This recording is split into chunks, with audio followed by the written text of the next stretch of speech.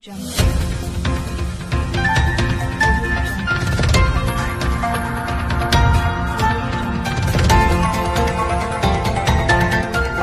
रहे हैं R P K P India news. नमस्कार मैं Shiv Vinayak Tiwari. RP K P India news में आपका स्वागत करता हूँ। आइए नगर में चलते हैं शहर से जुड़ी कुछ खास खबरों की। बीजेपी कार्यकर्ताओं ने किया भव्य स्वागत। छतरपुर। कैबिनेट मंत्री दर्जा प्राप्त प्रद्युम्न सिंह लोधी के आगमन पर बक्सवाहा जनपद पंचायत अंतर्गत आने वाली ग्राम पंचायत केरवारा में बीजेपी कार्यकर्ताओं ने उनका भव्य स्वागत किया।